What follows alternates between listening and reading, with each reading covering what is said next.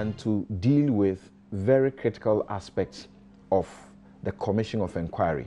Okay. The questions about its mandate, the questions about whether or not people can be punished criminally after the commission is done with its work, and uh, and a few others. Okay. Uh, questions also about how this uh, this particular one was set up, whether there was need to go through Parliament or not.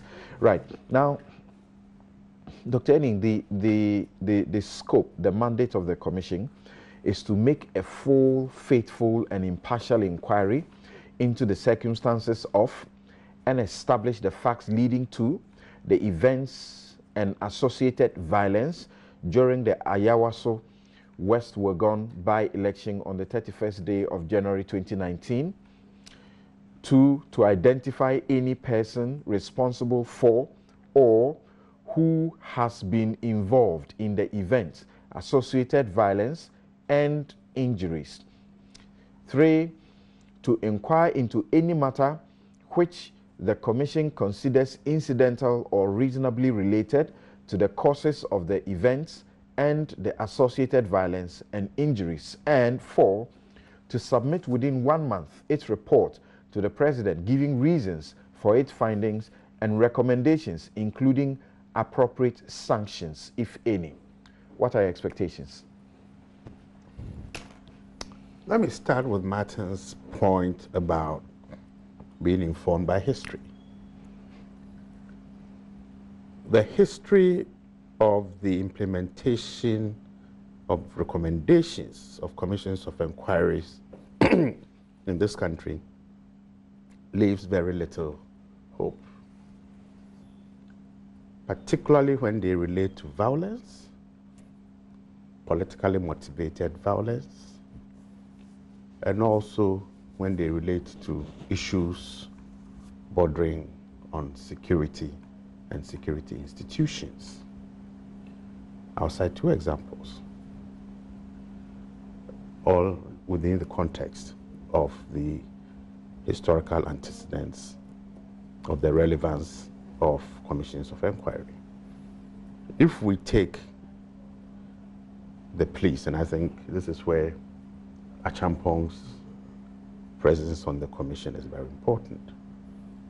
And we take the Tibiru Commission, for example, of inquiry, and the recommendations it did with respect to appointments and promotions and exams in the Ghana Police Service.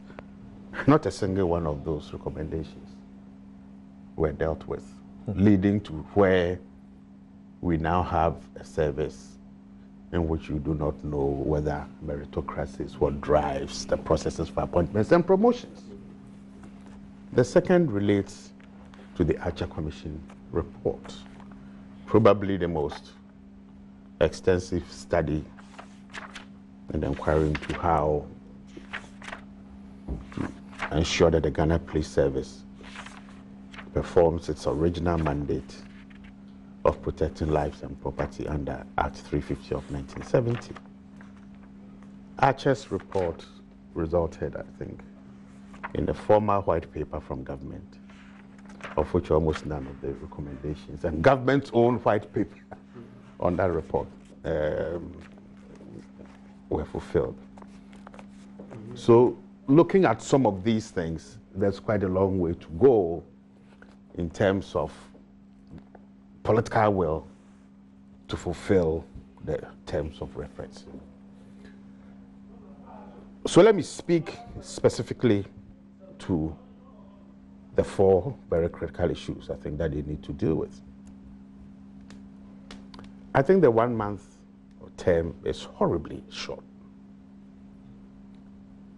Because if I take identifying persons, that will take considerable amount of work. They may have investigative powers, but they will need solid forensic support. We've got to get access to laptops. We've got to get access to mobile phones.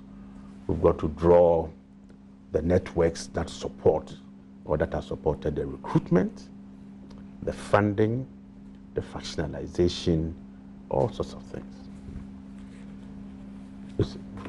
Any matter of interest, that is another extremely wide remit. So I hope that they have a supporting infrastructure that says, talk, talk to Martin, talk to Festus, talk to Abrompa, because they've already done enough work or, and there's a body of knowledge that you can that you can draw on. So I think based on what we know of the four individuals, mm. being able to put the facts on the table should not be the problem. Okay. The problem is the will to say we will deal with the recommendations. All right. Okay, so I'll return to you yeah. for you to help us deal with the question where you say that uh, and to inquire into any matter yeah. which the Commission considers incidental or reasonably yeah. related. Yeah. To point two. Uh, then the questioning again is if we still look at the potential of prosecuting, what's the point in doing a process? He just asked that question. Uh, Festus Aboagye just asked that, that question. What is the point in doing, a, in doing this and then doing the other? Waste of resources? Well, after listening to the two lawyers talk, I just felt that this is actually going to worsen the problem than resolve it. How? I cannot basically see people going scot free. You can't vex a man twice. This nation has been vexed by these tax since 1951. Commissions of inquiry, whatever you want to call it. And I'm happy Martin has brought in the Okudzeto report of security institutions that have been criminalized over time.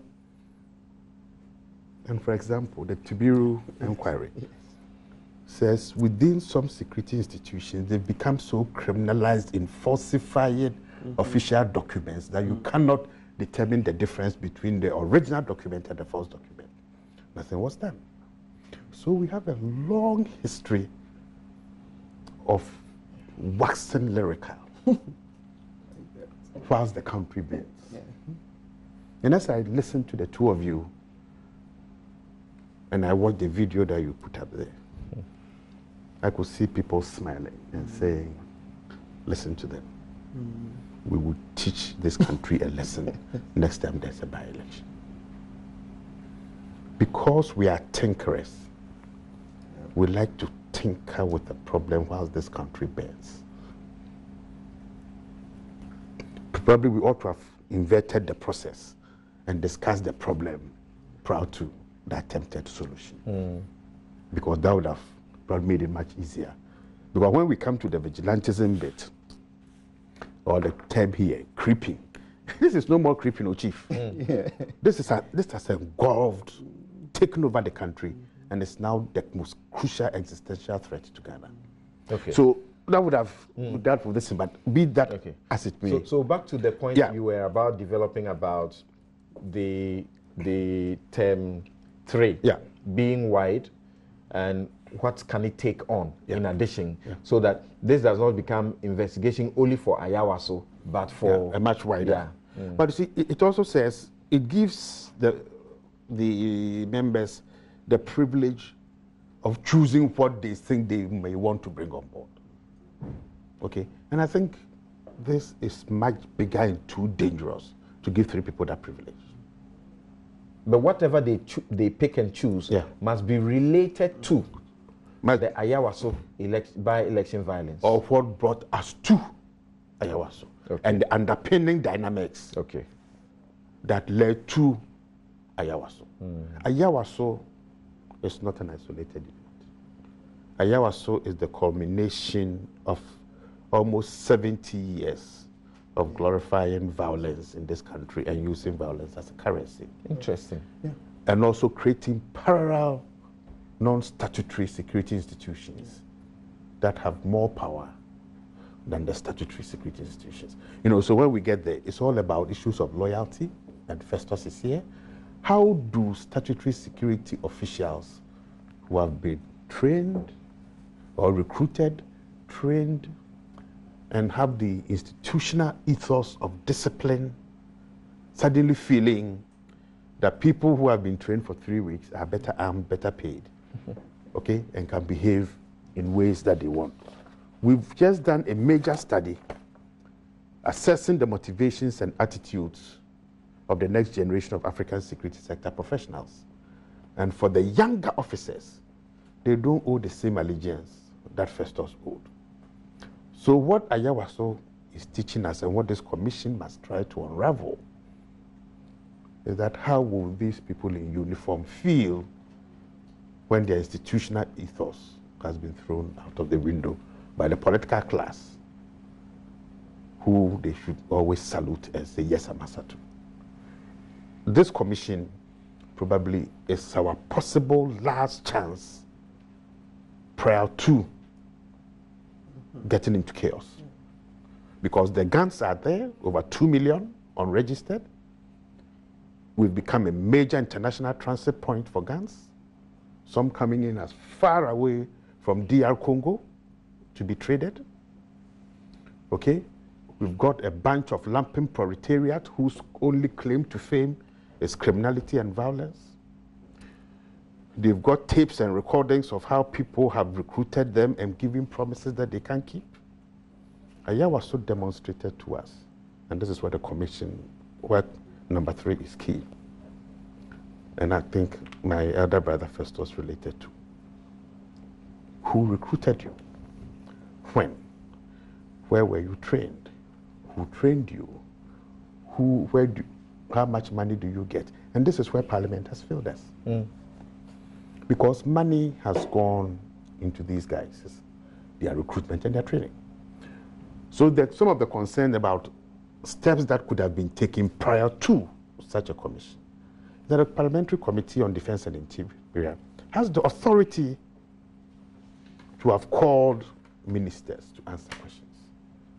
Public accounts and the finance committees, they approve monies to be used. You know, so we are just dancing around the port, mm. okay, and using Oxbridge mm. English mm. and interpretations.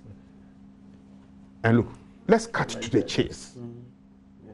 Let's cut to the chase. Yeah. Because look, let there be a by election in another two weeks. We will see violence three times.